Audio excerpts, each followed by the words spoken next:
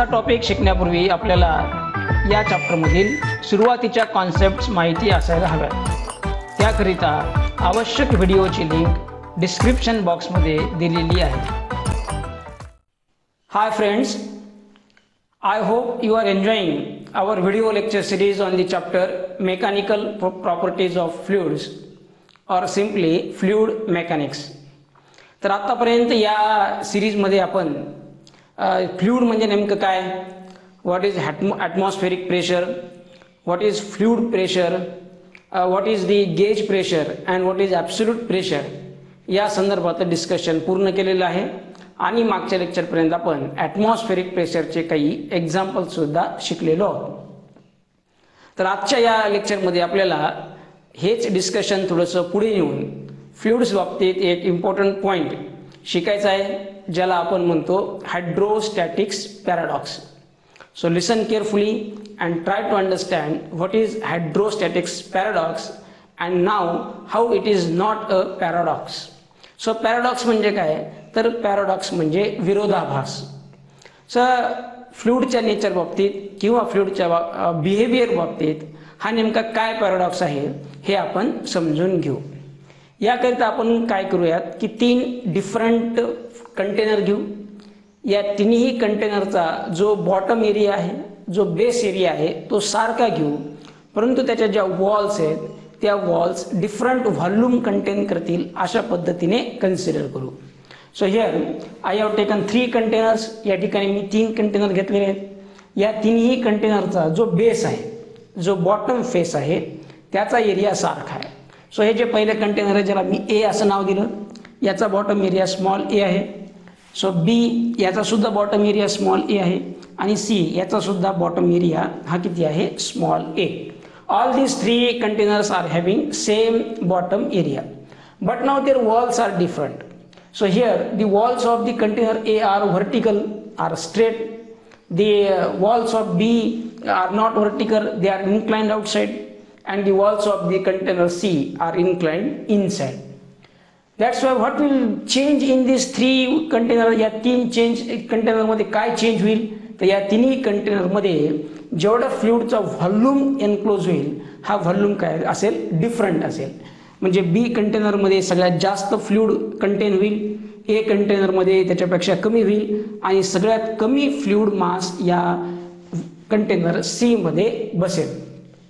So these are having different fluid mass आपण एक यांच्यामध्ये फ्लूड भरताना एक गोष्ट कटाक्षाने पाळलेली आहे आणि ती अशी आहे की या तिन्ही फ्लूडमध्ये जी हाईट ऑफ फ्लूड आहे that is the level of the fluid above this base is same the fluid in all these three containers is at same vertical level H या तिन्हीमध्ये फ्लूडचं भले मास डिफरंट आहे व्हॉल्यूम डिफरंट आहे परंतु तिन्हीमध्ये जी फ्लूडची vertical height आहे ती same आहे आणि ती किती आहे? यच आहे.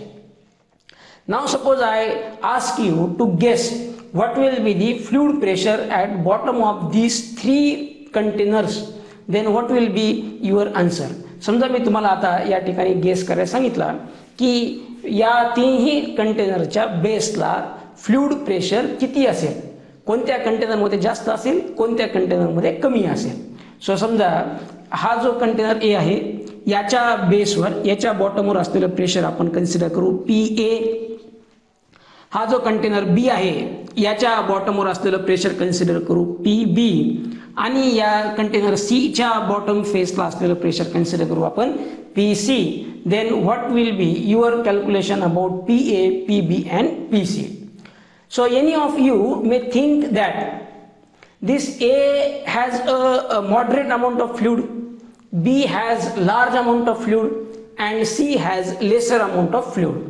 तर या तिन्ही कंटेनरकडे नीट पाहिलं तर एक गोष्ट आपल्याला सहज कळते की बी कंटेनरमध्ये फ्लूडचं मास सगळ्यात जास्त आहे ए कंटेनरमध्ये मॉडरेट आहे आणि सी कंटेनरमध्ये सगळ्यात कमी आहे आता या बॉटम फेसवर प्रेशर कोणामुळे तयार व्हायला असेल? तर या बॉटम फेसवर तयार होणारा प्रेशर हा जो बॉटम फेस आहे तो बॉटम फेस जितक्या फ्लुइडच्या मासला सपोर्ट करायलेला आहे त्या फ्लुइडच्या मासमुळे ॲक्ट होत असलं पाहिजे.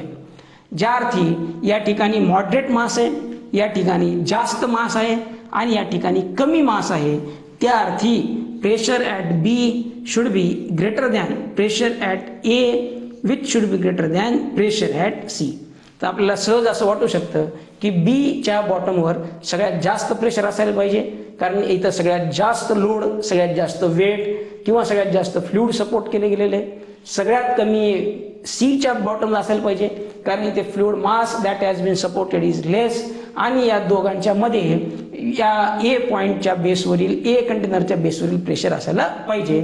जेणेकरून आपण असं लिहू शकतो की P B is greater than pressure at B is greater than pressure at A which is greater than pressure at point C but if we try to measure the pressure at these three bottoms experimentally आपण जर एखादी fluid gauge किंवा एखादी pressure gauge किंवा एखादं pressure measuring device वापरून जर या तिन्ही तिन्ही कंटेनरच्या बॉटमला असलेलं जर प्रेशर मेजर केलं एक्सपेरिमेंटली मेजर केलं ॲक्च्युली फ्लि प्रेशर गेज वापरून मेजर केलं तर आपल्याला असं दिसतं की आपला हा जो इनिशियल अंदाज आहे की pressure at B will be greater than pressure at A which will be greater than pressure at C fails हा अंदाज खोटा ठरतो. प्रेशर मेजरिंग गेजेस या तिन्ही बॉटमला समान प्रेशर दाखवतील. They will indicate that pressure at A or the pressure at the bottom of B is equal to pressure at the bottom of C A which is equals to pressure at the bottom of C या तिन्ही फ्लूडच्या bottom सरफेसवर असलेलं pressure हे सारखं आहे. These will these instruments will not indicate different pressure for this three containers then uh, this is the uh, uh, this is that observation which will make us surprise हे असं observation आहे की जे आपल्या सहजपणे लॉजिकली आपलं जे काढलेलं कन्क्लुजन आहे त्याच्याशी कोइन्साइड होत नाही त्याच्याशी विपरीत आहे त्यामुळे एक विस्मयकारक अशी परिस्थिती या ठिकाणी तयार होऊ शकते. So we'll analyze how these uh, pressure gauges will indicate the same pressure for these three situations. या तिन्ही सिच्युएशन करता प्रेशर मेजरिंग गेजेस समान प्रेशर कसं काय दाखवतील.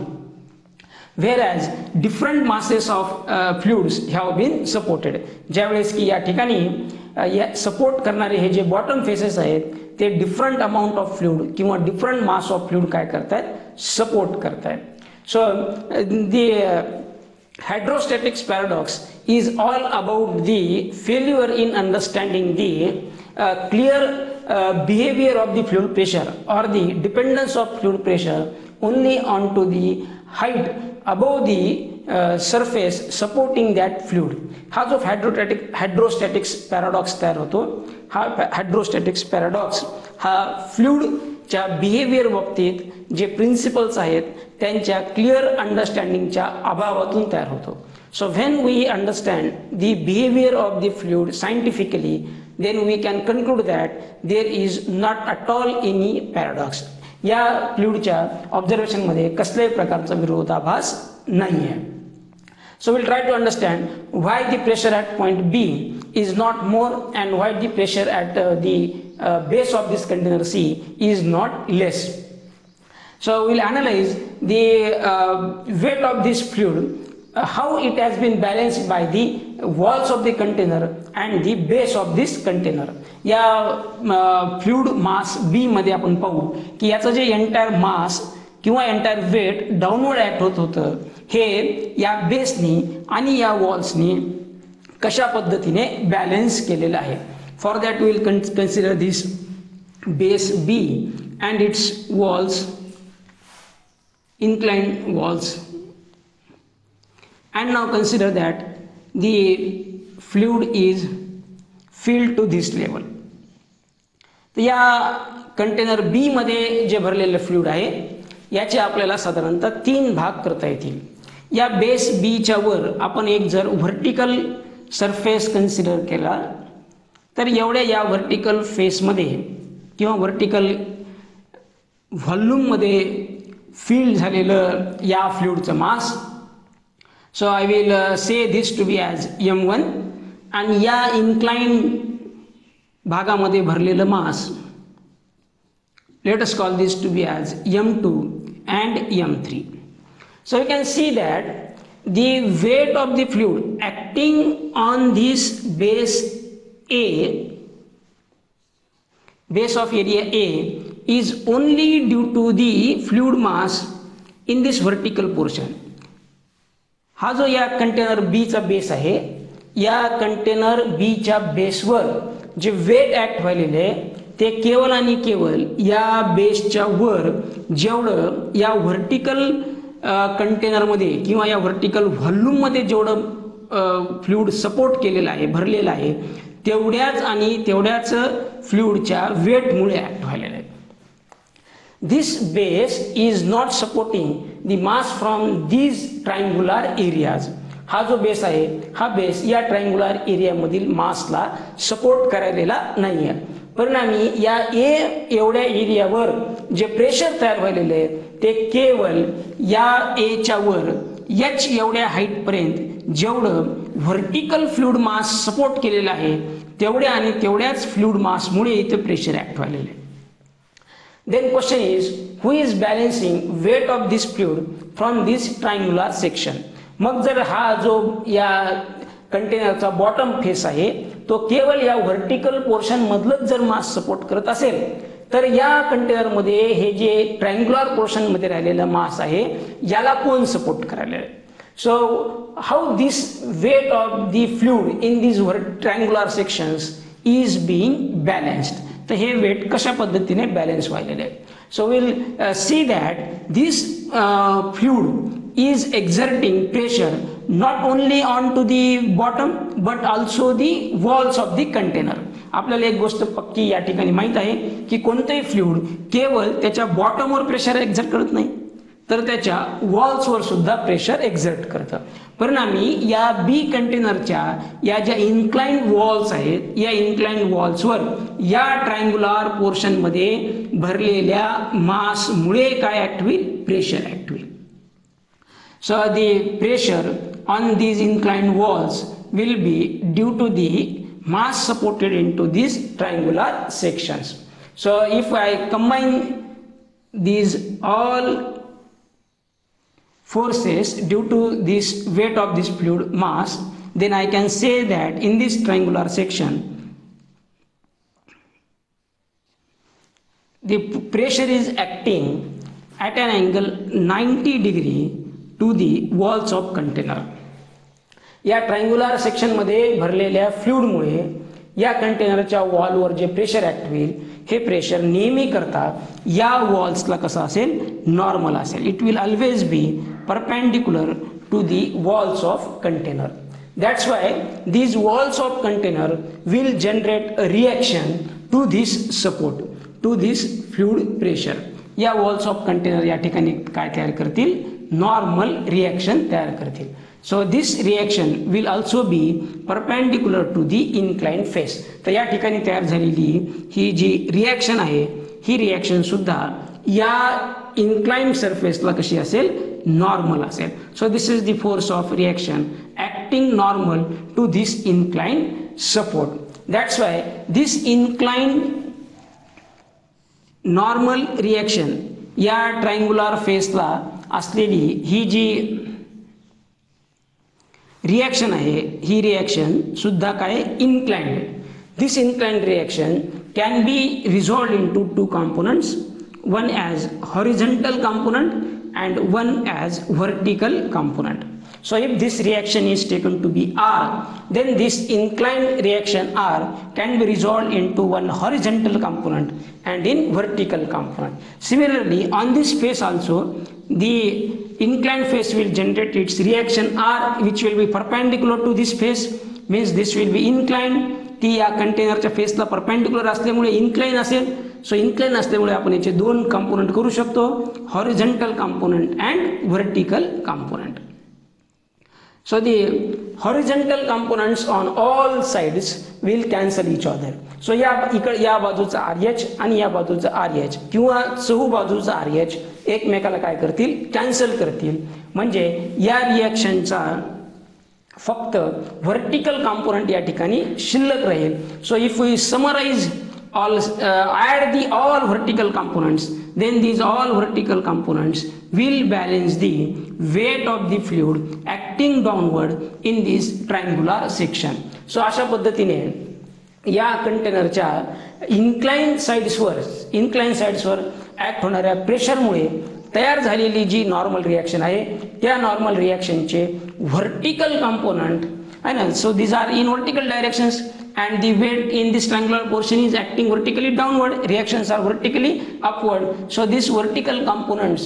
of these reactions will balance the mass into triangular portion so in simple words we will draw the conclusion एकदम साध्या शब्दामध्ये आपण याचं कन्क्लुजन पाहू की या पद्धतीच्या कंटेनरमध्ये हा जो बेस आहे हॉरिझेंटल बेस याच्यावर जेवढं व्हर्टिकल मास फ्लुइडचं रेस्ट झालेलं आहे एवढं मास फक्त या बेसवर प्रेशर तयार करेल. या भागातील फ्ल्युडचं वेट या बेसची रिॲक्शन बॅलन्स करेल. मग ट्रँग्युलर सेक्शनमधलं मास कोण बॅलन्स करेल? तर ट्रँग्युलर सेक्शनमधलं मास या ज्या इन्क्लाइन एजेस आहेत यांच्यावर त्यांचं वेट ॲक्ट करेल.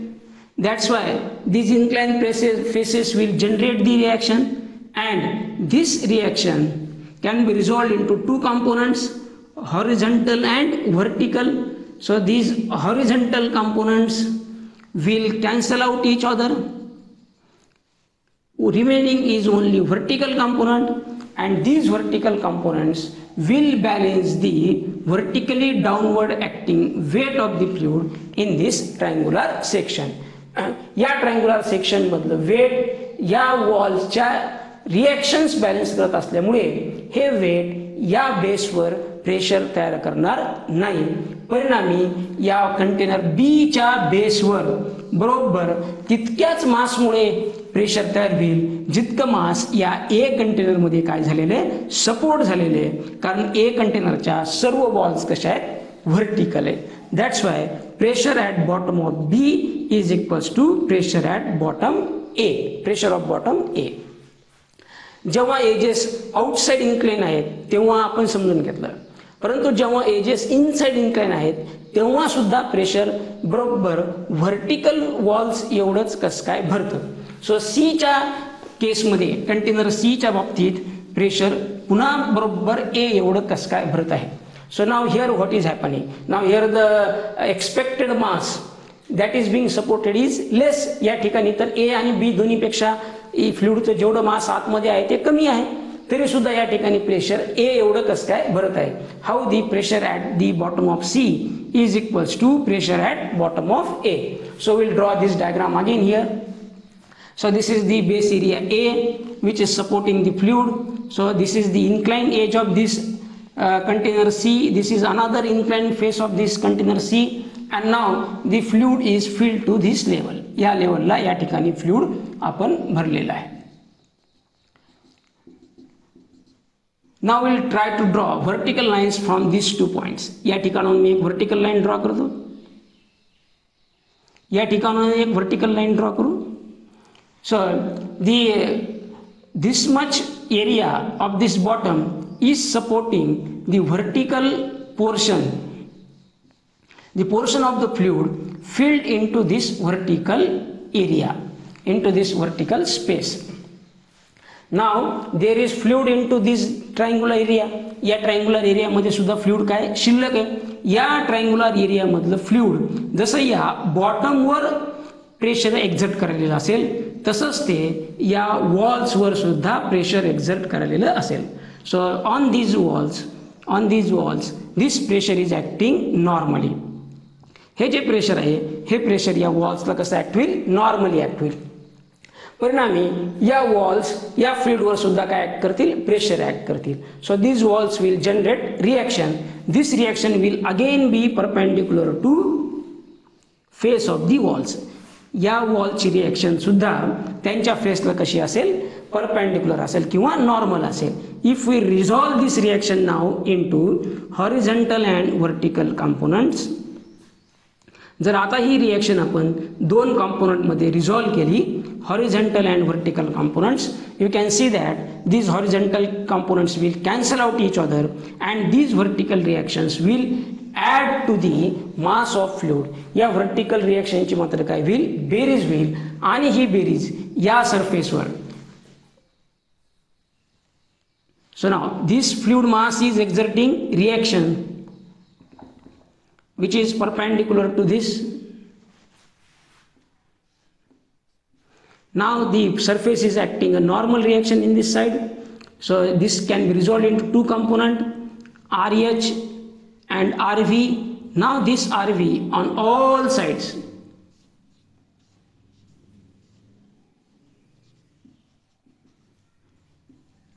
Now this rv on all sides will add extra force which will exert extra pressure on to this bottom या बॉटमवर या सर्व आर व्ही मिळून ॲडिशनल फोर्स काय करतील? ॲक्ट करतील.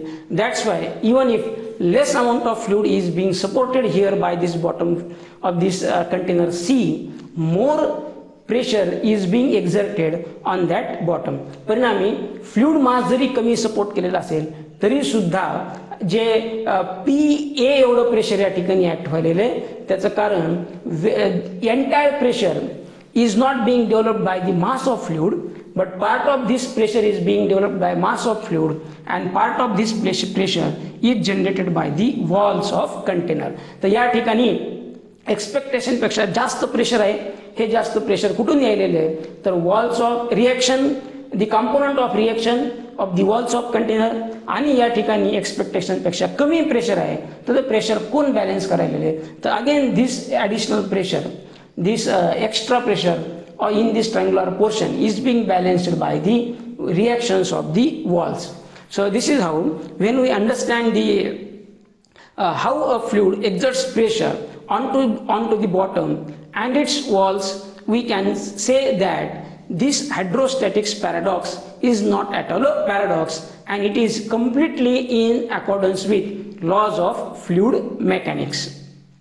तर आपल्याला असं म्हणता येईल की हा कोणत्याही प्रकारचा विरोधाभास नसून सुरुवातीला ज्यावेळी आपल्याला फ्लूडच्या बिहेवियर बिहेवियर बाबतीत सर्व लॉज क्लिअरली माहीत नव्हते तेव्हा आपण याला पॅराडॉक्स असं स्ट्रीट केलेलं होतं. या फ्लूडच्या बॉटमला कुठेहूनही एक्स्ट्रा किंवा लेस प्रेशर तयार झालेलं नाही. त्याचं कारण आपण असं कन्क्लुजन काढू शकतो की फ्ल्युडचं प्रेशर फ्ल्युडचं प्रेशर हे सर्वत त्याला सपोर्ट करणाऱ्या फेसच्या वर फ्ल्युडची किती हाईट आहे या हाईटवर कम्प्लिटली डिपेंड आहे. The fluid pressure depends only on to this vertical height and it does not depend on other factors like the shape of the container shape of दी कंटेनरवर कंटेनरवर ते डिपेंड नाही the hydrostatics paradox can be understood in detail by one more diagram. So we'll try to understand the hydrostatics paradox by one more diagram. This is diagram given into our new textbook. So here there are four different containers of different shape and size and they are all connected to each other so that fluid inside them is free to communicate. तर या ठिकाणी आपल्याला चार वेगवेगळ्या आकाराची containers दिलेली आहेत आणि आपण ही चारही कंटेनर एकमेकांसोबत जोडलेली आहेत. तर या चारही कंटेनरच्या बाबतीत आपल्याला एक गोष्ट बघायला मिळते की भलेही त्यांचा आकार डिफरंट असेल परंतु जर यामध्ये आपण फ्लूड भरायला जर चालू केलं तर कोणत्याही क्षणाला या चारही कंटेनरमध्ये आपल्याला फ्लूडची लेवल सारखी असलेली दिसेल. So liquid maintains maintains its level inside of the container तर या ठिकाणी फ्लूड भरायला चालू केल्यानंतर या चारही कंटेनरची शेप आणि त्यांची साईज डिफरंट असूनसुद्धा प्रत्येक वेळी आपल्याला या चारही कंटेनरमध्ये फ्लूडची लेवल समान बघायला मिळेल. तर या एच एवढ्या हाईटपर्यंत आपण फ्लूड भरल्यानंतर आपण जर याचं विश्लेषण केलं ॲनालिस ॲनालिसिस केलं तर आपल्याला असं जाणवतं की या सी सेक्शनमध्ये फ्लूडची अमाऊंट जास्त आहे as compare to into the section B या सी पार्टमध्ये जास्त फ्लूड भरलेले कशापेक्षा? या बी पार्टपेक्षा तर सिम्पली काय व्हायला पाहिजे? की या सी पॉईंटवर प्रेशर जास्त असायला पाहिजे. So pressure at this at the bottom of this part C should be greater than the pressure at the bottom of B. So the PC should be greater than PB. So naturally what should happen? The fluid from this C section should move to the section B and level of the fluid should increase into the B.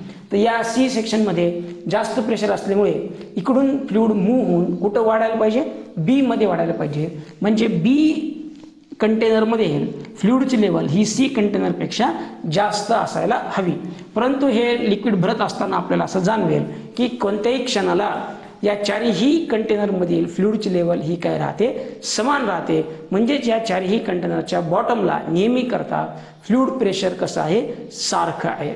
So how the fluid pressure can be same at the bottom of all these four containers even if they are having different cross sectional areas and they are supporting different mass of the fluids so just we learn into our previous diagram आपण आधीच्या डायग्राममध्ये study केल्याप्रमाणे vertical boundaries असलेलं fluid ज्यावेळी आहे त्यावेळी entire mass त्याचा base काय करलेला आहे? सपोर्ट करलेला आहे. Entire mass that is into the container is being supported by the base so when the walls of the containers are not vertical and they are incline then the weight of the liquid in these incline portions is being balanced by the walls of the container by the normal reaction provided by the walls and when they, these are inclined inside then the additional pressure that is being exerted onto the base is again due to the walls of the container due to the normal reaction of the walls of the container या ठिकाणी expectation पेक्षा fluid pressure कमी होत आहे कारण additional fluid मास या normal reaction balance करत आहेत तर या ठिकाणी ॲडिशनल प्रेशर एक्सपेक्टेशनपेक्षा ॲडिशनल प्रेशर आपल्याला तयार झालेलं दिसतं. तर हे ॲडिशनल प्रेशर कोणामुळे कॉन्ट्रीब्यूट व्हायला आहे? तर again this is due to the normal reaction provided by the walls of the container this is how we can understand the hydrostatics paradox so we learn the Pascal's law and its application into our next lecture till then thank you